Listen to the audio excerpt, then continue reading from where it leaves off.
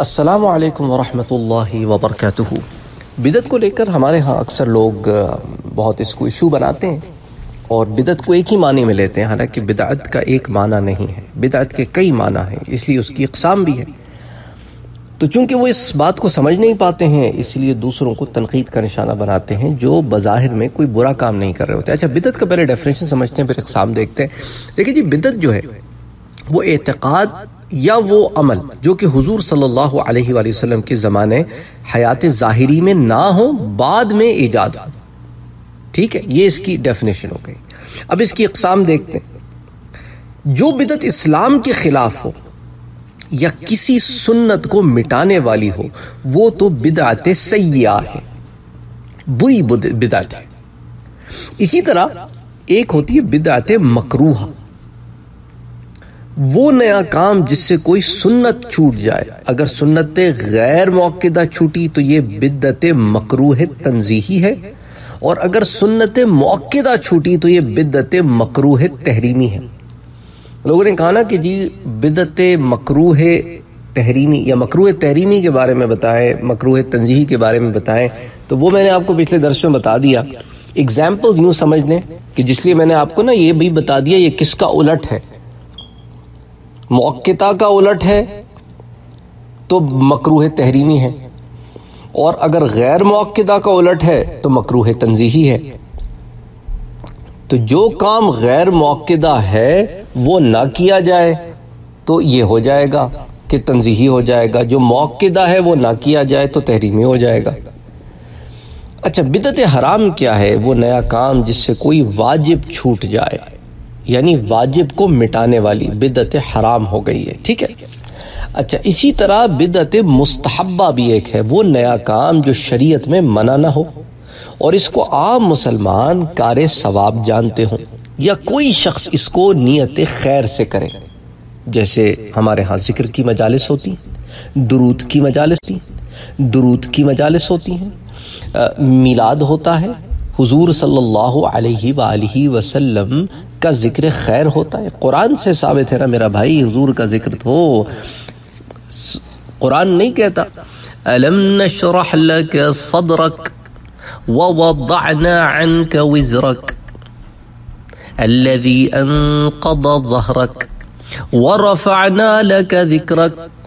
और आपका ज़िक्र बुलंद फरमाया तो हुजूर का ज़िक्र खैर बुलंद फरमाने वालों में अपना नाम लिखवाने वालों को कहते हैं लोग कि क्या करते हो। हाँ लेकिन मैं भी उन्हें मना करता हूँ, जो बिदत मुस्तहब्बा तो करते हैं, लेकिन साथ साथ बितरत बिदत मकरूहा का अहतमाम हो जाता है। कहीं बिदत सैया का अहतमाम होता है। और कहने को बिदत मुस्तहब्बा कर रहे होते हैं। मिसाल के तौर पे, मिलाद हो रहा है, लेकिन बेपर्दगी है।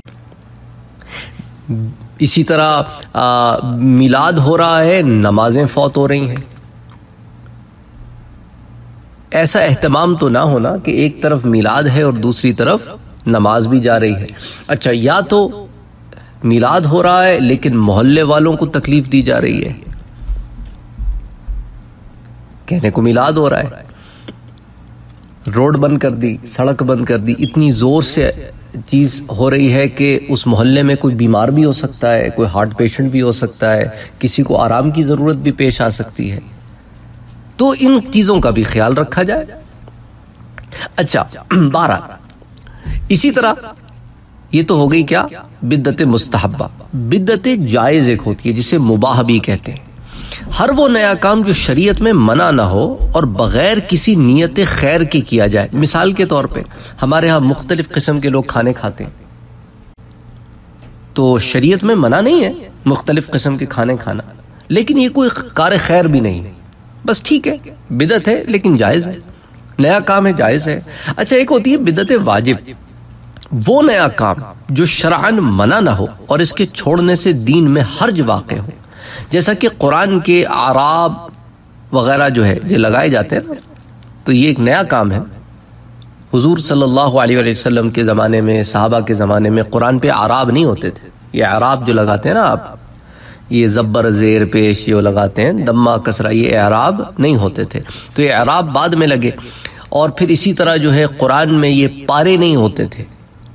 एक पारा, दो पारा, ये नहीं होते थे। तो इसी तरह जो है मंजिलें, इनका भी अहतमाम नहीं था। तो ये तमाम रुकू ये भी नहीं होते थे।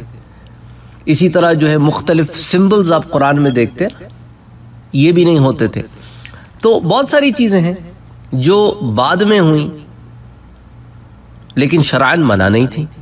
लेकिन इसके छोड़ने से दीन में हर्ज वाकई ये हो जाता है कि इंसान बगैर एराब के पढ़ नहीं पाता कुरान। तो हर्ज हो गया ना? अच्छा फिर इसी तरह लोग दीनी मदारस में जाकर एहतमामन पढ़ते हैं। उसका नतीजा क्या होता है कि आप एक चीज़ कुरुकलम से स्टेप बाय स्टेप पढ़ते हैं तो वो एक चीज़ तदरीजन दर्जा बद दर्जा तदरीजन दर्जा बद दर्जा आप उसको पढ़ के उसके अंदर फाजिल होते हैं। अब एक आदमी ये कहे कि भाई, मदारस जाऊँगा ही नहीं, घर में पढ़ के आलिम फाजिल हो जाऊँगा तो फिर उसमें कमियाँ रहेंगी। और फिर वो हर मामले में अपनी अकल लड़ाएगा, अपनी कम इल्मी से फैसले देना शुरू कर देगा। बहरहाल, इसी तरह जो है, अरबिक ग्रामर है, इल्म नहव है, इल्म सर्फ है, ये वगैरह पढ़ना तो ये तमाम काम जो है, ये बिदात वाजिब में आ जाते हैं तो नया काम, लेकिन वाजिब में है कि इसको किए बगैर गुजारा नहीं। सही तरीके से अगर इल्म हासिल करना है तो इस मरहले से गुजरना होगा। तो बहरहाल, इसलिए लफ्ज़ बिदात से लोग जो है ना, वो बिल्कुल बिदक जाते हैं कि, ओ, ये तो बिदात हो गई, ये तो बिदात हो गई। बहुत सारे ऐसे काम होते हैं जो बिदात ही में फिर आपको देखना होता है किस किस्म में आएँगे। तो खैर इन तफसील से बात हुई है बिदत के मामले में तो एक दफ़ा फिर मैंने शायद उस वक्त आपसे इसकी इकसाम बयान नहीं की थी, आज इकसाम बयान करता हूँ। इसी तरह जो है, तकलीद और इसकी भी इकसाम है।